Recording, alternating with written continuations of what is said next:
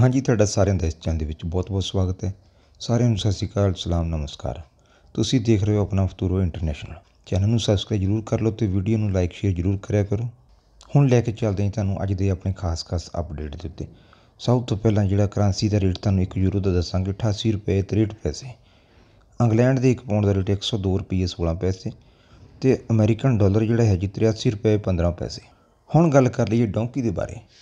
Donkey ਦੇ ਵਿੱਚ ਇਸ ਤਰ੍ਹਾਂ ਹੈ ਕਿ ਸਾਡੇ ਬਹੁਤ ਸਾਰੇ ਜਿਹੜੇ ਵੀਰ ਹਨ, ਆਪਣੇ ਪੰਜਾਬੀ ਭਰਾ, ਰੂਸ ਦੇ ਵਿੱਚ ਵੀ ਕਾਫੀ ਜਿਹੜੇ ਲੋਕ ਰਹਿੰਦੇ ਹਨ। ਅਤੇ ਰੂਸ ਦੇ ਵਿੱਚ ਕੀ ਹੋ ਰਿਹਾ ਕਿ ਰੂਸ ਦੇ ਵਿੱਚੋਂ ਵੀ ਲੋਕ ਜਿਹੜੇ ਹਨ, ਡੌਂਕੀ ਵਗੈਰਾ ਲਾ ਕੇ ਯੂਰਪ ਵਾਲੇ ਪਾਸੇ ਨੂੰ ਆਉਂਦੇ ਹਨ। ਇੱਥੇ ਤੁਹਾਨੂੰ ਇਹ ਦੱਸਦੀ ਦਈਏ ਕਿ ਜਿਹੜੀ ਰੂਸ ਤੋਂ ਜਿਹੜੀ ਡੌਂਕੀ ਹੈ ਜੀ, ਇਹ ਬਹੁਤ ਜ਼ਿਆਦਾ ਔਖੀ ਹੈ। ਇਹਦੇ ਵਿੱਚ ਜਿਹੜੀ ਜਾਣਕਾਰੀ ਮਿਲੀ ਹੈ, ਉਹਦੇ ਵਿੱਚ ਇਹ ਦੱਸਿਆ ਗਿਆ ਕਿ ਬਹੁਤੇ ਵੀਰ ਜਿਹੜੇ ਜਰਮਨ ਦੇ ਵਿੱਚ ਵੀ ਪਹੁੰਚੇ ਹਨ। ਅਤੇ ਜਰਮਨ ਦੇ ਵਿੱਚ ਹੁੰਦਾ ਕੀ ਹੈ? ਜਦੋਂ ਕੋਈ ਜਰਮਨ ਦੇ ਵਿੱਚ ਪਹੁੰਚਦਾ ਤੇ ਉੱਥੇ ਜਿਹੜੀ ਸਰਕਾਰ ਹੈ ਜੀ, ਫਿਰ ਉਹਨਾਂ ਲੋਕਾਂ ਨੂੰ ਕੈਂਪਾਂ ਦੇ ਵਿੱਚ ਰੱਖਦੀ ਹੈ।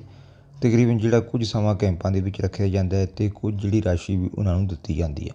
300 ਯੂਰੋ ਦੇ ਆਸ-ਪਾਸ। ਇਸ ਤੋਂ ਬਾਅਦ ਦੱਸਿਆ ਜਾਂਦਾ ਹੈ ਕਿ ਜੇ ਕਿਸੇ ਨੂੰ ਕੋਈ ਕੰਮ ਮਿਲਦਾ ਹੈ ਤੇ ਉਹ ਕੰਮ ਕਰ ਸਕਦੇ ਹਨ।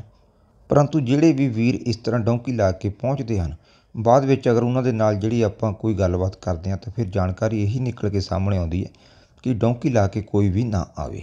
ਕਿਉਂਕਿ ਦੱਸਿਆ ਜਾਂਦਾ ਹੈ ਕਿ 50-50 ਕਿਲੋਮੀਟਰ ਜਿਹੜਾ ਹੈ ਜੀ ਡੇਲੀ ਕਈ ਵਾਰ ਤੁਰਨਾ ਪੈਂਦਾ ਹੈ ਅਤੇ ਲਗਾਤਾਰ ਕਈ ਵਾਰ 4-4 ਦਿਨ 5-5 ਦਿਨ ਵੀ ਹੋ ਜਾਂਦੇ ਬਿਨਾਂ ਕਿਸੇ ਚੀਜ਼ ਦੇ ਖਾਧਿਆਂ। ਅਤੇ ਕਈ ਵਾਰ ਤਾਂ ਦੱਸਦੇ ਹਨ ਕਿ ਅਜਿਹਾ ਵੀ ਹੁੰਦਾ ਕਿ ਅੱਗੇ ਜਿਹੜੀ ਪੁਲਿਸ ਹੈ ਜੀ, ਉਹਨਾਂ ਨੂੰ ਫੜਦੀ ਹੈ ਅਤੇ ਦੁਬਾਰਾ ਫਿਰ ਜੰਗਲ ਦੇ ਵਿੱਚ ਛੱਡ ਜਾਂਦੀ ਹੈ। ਸੋ ਜਿਹੜੇ ਵੀ ਵੀਰ ਇਸ ਤਰ੍ਹਾਂ ਦੇ ਨਾਲ ਯੂਰਪ ਦੇ ਵਿੱਚ ਆਉਣਾ ਚਾਹੁੰਦੇ ਹਨ, ਥੋੜ੍ਹਾ ਸੋਚਣਾ ਜ਼ਰੂਰ ਚਾਹੀਦਾ ਹੈ ਕਿਉਂਕਿ ਜ਼ਿੰਦਗੀ ਤੋਂ ਵੱਡੀ ਜਿਹੜੀ ਕੋਈ ਵੀ ਚੀਜ਼ ਨਹੀਂ ਹੈ। ਹੁਣ ਅੱਜ ਕੱਲ੍ਹ ਜਿਹੜਾ ਜ਼ਮਾਨਾ ਚੱਲ ਰਿਹਾ, ਲੋਕ ਕੀ ਕਰਦੇ ਹਨ ਕਿ ਫੋਨ ਦੇ ਵਿੱਚ ਹਰ ਤਰ੍ਹਾਂ ਦੀਆਂ ਫੋਟੋ ਜਿਹੜੀਆਂ ਹਨ, ਖਿੱਚ ਕੇ ਰੱਖਦੇ ਹਨ। ਇੱਥੋਂ ਤੱਕ ਕਿ ਜਿਹੜੇ ਆਪਣੇ ਪਾਸਵਰਡ ਵਗੈਰਾ ਹੁੰਦੇ, ਉਹਨਾਂ ਦੀ ਵੀ ਲੋਕ ਫੋਟੋ ਖਿੱਚ ਲੈਂਦੇ ਹਨ। ਅਤੇ ਹੋਰ ਬਹੁਤ ਸਾਰੇ, ਜਿੱਦਾਂ ਕਿ ਸਜੋਰਨ ਵਗੈਰਾ ਹੋ ਗਈ ਜਾਂ ਕਰਤਾ ਦਾ ਹੋਰ ਜਿਹੜੇ ਪਾਸਪੋਰਟ ਦੀ ਫੋਟੋ ਕਾਪੀ ਲੋਕ ਕੀ ਕਰਦੇ ਹਨ ਕਿ ਇਹਨਾਂ ਦੀਆਂ ਫੋਟੋ ਸਿੱਧੀਆਂ ਹੀ ਫੋਨਾਂ ਦੇ ਵਿੱਚ ਖਿੱਚ ਕੇ ਰੱਖਦੇ ਹਨ। ਇਸ ਤਰ੍ਹਾਂ ਜਿਹੜਾ ਬਹੁਤ ਸਾਰਾ ਜਿਹੜਾ ਡਾਟਾ ਹੁੰਦਾ, ਜੀ ਨਿੱਜੀ ਡਾਟਾ ਉਹ ਫੋਨ ਦੇ ਵਿੱਚ ਸੇਵ ਹੋ ਜਾਂਦਾ ਹੈ। ਇਸ ਤੋਂ ਬਾਅਦ ਬਹੁਤੇ ਵੀਰ ਕੀ ਕਰਦੇ ਹਨ ਕਿ ਜਿੱਦਾਂ ਕਿ ਕੋਈ ਐਪਲੀਕੇਸ਼ਨ ਵਗੈਰਾ ਭਰਨੀ ਹੈ, ਕਈ ਵਾਰ ਕੋਈ ਅਚਾਨਕ ਹੀ ਨੋਟਿਸ ਆਉਂਦਾ ਹੈ। ਕਿ ਐਪਲੀਕੇਸ਼ਨ ਡਾਊਨਲੋਡ ਕਰਨ ਦੇ ਬਾਰੇ, ਜਿੱਦਾਂ ਕਿ ਇੱਕ ਨੋਟੀਫਿਕੇਸ਼ਨ ਪਾਪ ਹੁੰਦਾ ਹੈ ਜਿਸ ਨੂੰ ਆਪਾਂ ਕੀ ਕਰਦੇ ਹਾਂ ਕਿ ਕਈ ਵਾਰ ਇਸ ਨੂੰ ਪੜ੍ਹਦੇ ਵੀ ਨਹੀਂ ਹਾਂ ਅਤੇ ਓਕੇ ਕਰ ਦਿੰਦੇ ਹਾਂ। ਇਹਦੇ ਵਿੱਚ ਕੀ ਹੁੰਦਾ ਹੈ ਕਿ ਜਦੋਂ ਉਹ ਐਪਲੀਕੇਸ਼ਨ ਇੰਸਟਾਲ ਹੁੰਦੀ ਹੈ ਤਾਂ ਜਿਹੜਾ ਡਾਟਾ ਤੁਹਾਡਾ ਫੋਨ ਦੇ ਵਿੱਚ ਹੁੰਦਾ ਹੈ, ਆਪਣੇ ਆਪ ਹੀ ਅਨਸੇਫ ਹੋ ਜਾਂਦਾ ਹੈ। ਬਹੁਤੇ ਲੋਕ ਇੱਕ ਹੋਰ ਵੱਡੀ ਗਲਤੀ ਕਰਦੇ ਨੇ ਕਿ ਜਿਹੜੇ ਪਾਸਵਰਡ ਵਗੈਰਾ ਹਨ, ਇੱਕ ਹੀ ਪਾਸਵਰਡ ਨੂੰ ਸਾਰੇ ਪਾਸੇ ਜਿਹੜਾ ਯੂਜ਼ ਕਰਦੇ ਹਨ, ਅਲੱਗ-ਅਲੱਗ ਐਪਸ ਦੇ ਵਿੱਚ, ਅਲੱਗ-ਅਲੱਗ ਅਕਾਊਂਟਾਂ ਦੇ ਵਿੱਚ, ਜਿਹੜਾ ਪਾਸਵਰਡ ਹੁੰਦਾ ਹੈ ਜੀ, ਇੱਕ ਹੀ ਲੋਕ ਰੱਖਦੇ ਹਨ। ਇਸ ਤਰ੍ਹਾਂ ਦੇ ਨਾਲ ਕੀ ਹੁੰਦਾ ਕਿ ਇੱਕ ਪਾਸਵਰਡ ਅਗਰ ਤੁਹਾਡਾ ਲੀਕ ਹੁੰਦਾ ਤਾਂ ਸਾਰੀਆਂ ਜਿਹੜੀਆਂ ਤੁਹਾਡੀਆਂ ਜੋ ਵੀ ਜ਼ਰੂਰੀ ਚੀਜ਼ਾਂ ਹਨ, ਸਾਰਿਆਂ ਦੇ ਵਿੱਚ ਜਿਹੜਾ ਹੈ ਜੀ ਸੇਂਧ ਲੱਗ ਸਕਦੀ ਹੈ। ਸੋ ਜਿਹੜਾ ਪਾਸਵਰਡ ਹੈ ਜੀ, ਹਰ ਐਪ ਦਾ ਅਲੱਗ-ਅਲੱਗ ਹੋਣਾ ਚਾਹੀਦਾ ਹੈ, ਹਰ ਬੈਂਕ ਦਾ ਜਿਹੜਾ ਪਾਸਵਰਡ ਅਲੱਗ ਰੱਖੋ, ਇੱਕ ਦੂਜੇ ਤੋਂ ਵੱਖਰਾ। ਤੇ ਇਸ ਤੋਂ ਬਾਅਦ ਤੁਸੀਂ ਜਿਹੜਾ ਹੈ ਜੀ, ਇੱਕ ਹੋਰ ਚੀਜ਼ ਕਰ ਸਕਦੇ ਹੋ two step verification two step verification ਦੇ ਨਾਲ ਵੀ ਜਿਹੜਾ ਡਾਟਾ ਸੇਵ ਰਹਿੰਦਾ ਹੈ ਤੇ ਸਮਾਰਟਫੋਨ ਜਿਹੜਾ ਤੁਹਾਡਾ ਜਦੋਂ ਅਪਡੇਟ ਆਉਂਦਾ ਹੈ, ਤਾਂ ਇਸ ਨੂੰ ਅਪਡੇਟ ਜ਼ਰੂਰ ਕਰਨਾ ਹੈ। ਅਤੇ ਪਬਲਿਕ ਵਾਈਫਾਈ ਜਿੱਥੇ ਵੀ ਹੋਵੇ ਮਾਰਕੀਟਾਂ ਦੇ ਵਿੱਚ ਜਾਂ ਕਿਸੇ ਹੋਰ ਜਗ੍ਹਾ ਤੇ ਕਈ ਲੋਕ ਲਾਲਚ ਕਰਦੇ ਹਨ। ਪਬਲਿਕ ਵਾਈਫਾਈ ਲੈਣ ਤੋਂ ਹਮੇਸ਼ਾ ਹੀ ਜਿਹੜਾ ਪਰਹੇਜ਼ ਕਰਨਾ ਹੈ।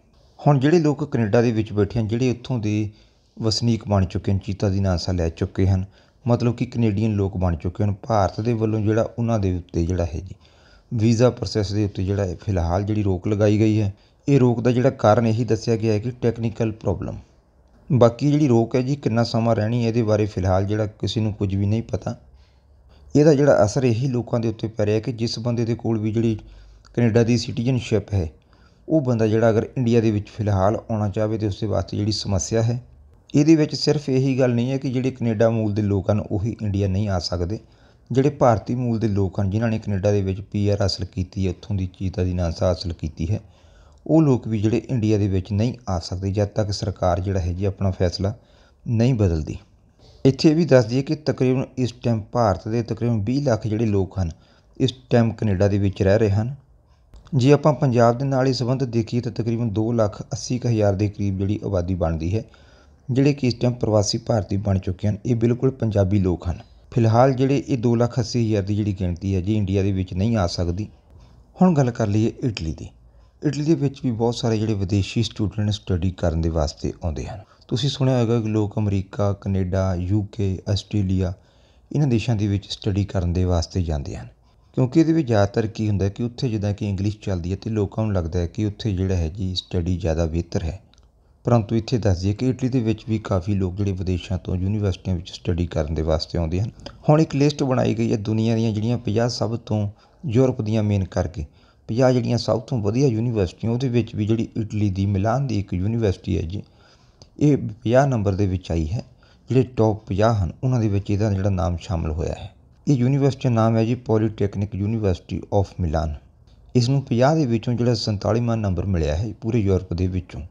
ਤੇ ਜੇ ਆਪਾਂ ਪਹਿਲੀਆਂ 100 ਯੂਨੀਵਰਸਿਟੀਆਂ ਦੇਖੀਏ ਟੋਟਲ ਜਿਹੜੀ ਗਿਣਤੀ ਹੈ ਜੀ 690 ਯੂਨੀਵਰਸਿਟੀਆਂ ਜਿਹੜੀਆਂ ਚੈੱਕ ਕੀਤੀਆਂ ਗਈਆਂ ਹਨ 690 ਦੇ ਵਿੱਚੋਂ ਜਿਹੜੀ ਮਿਲਾਨ ਦੇ ਵਿੱਚ ਯੂਨੀਵਰਸਿਟੀ ਹੈ 47ਵੇਂ ਨੰਬਰ ਦੇ ਉੱਤੇ ਆਈ ਹੈ ਤੇ ਇਸ ਤੋਂ ਇਲਾਵਾ ਰੋਮ ਦੇ ਵਿੱਚ ਸਪੀਐਂਸਾ ਯੂਨੀਵਰਸਿਟੀ, ਬਲੋਨੀਆ ਯੂਨੀਵਰਸਿਟੀ ਤੇ ਪਾਦੂਆ ਯੂਨੀਵਰਸਿਟੀ ਜਿਹੜੀਆਂ ਹਨ ਜੀ, ਇਹਨਾਂ ਦੀ ਗਿਣਤੀ ਜਿਹੜੀ ਪਹਿਲੀਆਂ 100 ਯੂਨੀਵਰਸਿਟੀਆਂ ਜਿਹੜੀਆਂ ਉੱਪਰ ਵਾਲੀਆਂ ਹਨ, ਉਹਨਾਂ ਦੇ ਵਿੱਚ ਗਿਣਤੀ ਆਈ ਹੈ। ਇਸ ਤਰ੍ਹਾਂ ਸੰਸਾਰ ਜਿਹੜੀਆਂ ਆਪਣੀਆਂ ਯੂਰਪ ਦੀਆਂ ਤਕਰੀਬਨ 100 ਯੂਨੀਵਰਸਿਟੀਆਂ ਹਨ, ਉਹਦੇ ਵਿੱਚ ਇਟਲੀ ਦੀਆਂ ਚਾਰ ਯੂਨੀਵਰਸਿਟੀਆਂ ਸ਼ਾਮਲ ਹੋਈਆਂ ਹਨ। ਇਟਲੀ ਦੇ ਵਾਸਤੇ ਜਿਹੜੀ ਇੱਕ ਵੱਡੀ ਖਬਰ ਹੈ, ਹੁਣ ਗੱਲ ਕਰ ਲਈਏ 10 ਜਨਵਰੀ 2024 ਇਸ ਤਰੀਕ ਨੂੰ ਜਿਹੜਾ ਇੱਕ ਕੰਮ ਹੋ ਰਿਹਾ ਹੈ, ਜਿਹੜੀ ਕਿ ਪ੍ਰੋਟੈਕਟਡ ਇਲੈਕਟ੍ਰਿਸਿਟੀ ਹੈ ਤੇ ਗੈਸ ਹੈ, ਇਹ ਸਕੀਮ ਜਿਹੜੀ ਹੈ ਬੰਦ ਹੋ ਰਹੀ ਹੈ। ਇਹਦੇ ਵਿੱਚ ਇਸ ਤਰ੍ਹਾਂ ਹੁੰਦਾ ਸੀ ਕਿ ਜਿੱਦਾਂ ਕਿ ਇੱਕ ਰੇਟ ਤੁਹਾਨੂੰ ਦਿੱਤਾ ਜਾਂਦਾ ਸੀ, ਇਹਦੇ ਵਿੱਚ ਤੁਸੀਂ ਜਿਹੜਾ ਸੀ ਕਿਸੇ ਵੀ ਤਰੀਫੇ ਨੂੰ ਚੂਜ਼ ਕਰਦੇ ਸੀ ਬਿਜਲੀ ਤੇ ਗੈਸ ਦੇ ਵਾਸਤੇ, ਤੇ ਜਿਹੜਾ ਤਰੀਫਾ ਸੀ 3 ਸਾਲ ਦੇ ਵਾਸਤੇ ਜਿਹੜਾ ਕੰਮ ਕਰਦਾ ਸੀ। ਇਸ ਨੂੰ ਕਹਿੰਦੇ ਹਨ ਜੀ ਗ੍ਰੈਜੂਅਲ ਪ੍ਰੋਟੈਕਸ਼ਨ ਸਰਵਿਸ ਇਹਦੇ ਵਿੱਚ ਇਸ ਤਰ੍ਹਾਂ ਹੁੰਦਾ ਸੀ ਕਿ ਜੇ ਪਿੱਛੋਂ ਗੈਸ ਦੇ ਰੇਟ ਵੱਧਦੇ ਹਨ ਜਾਂ ਬਿਜਲੀ ਦੇ ਰੇਟ ਵੀ ਵੱਧਦੇ ਹਨ ਤਾਂ ਤੁਹਾਡੇ ਉੱਤੇ ਜਿਹੜਾ ਹੈ ਜੀ 3 ਸਾਲ ਤੱਕ ਕੋਈ ਵੀ ਅਸਰ ਨਹੀਂ ਪੈਂਦਾ। ਤੁਹਾਨੂੰ ਜਿਹੜਾ ਉਹੀ ਰੇਟ ਦੇਣਾ ਪੈਂਦਾ ਸੀ, ਜਿਹੜਾ ਇੱਕ ਵਾਰ ਫਿਕਸ ਹੋ ਜਾਂਦਾ ਸੀ। ਉਹ ਕੰਪਨੀ ਦੇ ਉੱਤੇ ਡਿਪੈਂਡ ਕਰਦਾ ਸੀ ਕਿ ਉਸ ਨੂੰ ਘਾਟਾ ਪੈ ਰਿਹਾ ਹੈ ਜਾਂ ਨੁਕਸਾਨ ਹੋ ਰਿਹਾ ਜਾਂ ਨਫਾ ਹੋ ਰਿਹਾ ਹੈ। ਹੁਣ ਇਹ ਜਿਹੜੀ ਸਕੀਮ ਹੈ ਜੀ 10 ਜਨਵਰੀ 2024 ਨੂੰ ਖਤਮ ਹੋ ਰਹੀ ਹੈ। ਕੁਝ ਹੀ ਮਹੀਨੇ ਇਸ ਦੇ ਵਿੱਚ ਬਚੇ ਹਨ। ਜਿਹੜੀ ਪ੍ਰੋਟੈਕਸ਼ਨ ਸਰਵਿਸ ਹੈ ਇਲੈਕਟ੍ਰਿਸਿਟੀ ਤੇ ਗੈਸ ਦੇ ਵਾਸਤੇ। ਹੁਣ ਇਹਦੀ ਜਗ੍ਹਾ ਦੇ ਉੱਤੇ ਜਿਹੜੀ ਮਰਕਾਤੋ ਲਿਬਰੋ ਹੈ, ਉਹ ਚਲੇਗੀ। ਇਸ ਟਾਈਮ ਇਟਲੀ ਦੇ ਵਿੱਚ ਫਿਲਹਾਲ ਜਿਹੜੇ 70% ਦੇ ਆਸ-ਪਾਸ ਜਿਹੜੀ ਆਬਾਦੀ ਹੈ ਇਹਨਾਂ ਨੇ ਜਿਹੜਾ ਮਰਕਾਤੋ ਲਿਬਰੋ ਹੈ ਜੀ ਇਸ ਨੂੰ ਚੂਜ਼ ਕੀਤਾ ਹੋਇਆ ਹੈ ਤੇ 30% ਤੋਂ ਜ਼ਿਆਦਾ ਆਬਾਦੀ ਅਜੇ ਵੀ ਇਹੋ ਜਿਹੀ ਹੈ ਜਿਨ੍ਹਾਂ ਨੇ ਕਿ ਪ੍ਰੋਟੈਕਟਡ ਸਕੀਮ ਜਿਹੜੀ ਲੈ ਕੇ ਰੱਖੀ ਹੋਈ ਹੈ। ਹੁਣ ਜਿਹੜੀ ਮਰਕਾਤੋ ਲਿਬਰੋ ਹੈ ਜੀ ਇਹਦੇ ਵਿੱਚ ਕੀ ਹੋਇਆ ਹੈ ਕਿ ਬਹੁਤ ਸਾਰੀਆਂ ਜਿਹੜੀਆਂ ਕੰਪਨੀਆਂ ਹਨ, ਇਹਦੇ ਵਿੱਚ ਐਂਟਰ ਹੋ ਚੁੱਕੀਆਂ ਹਨ।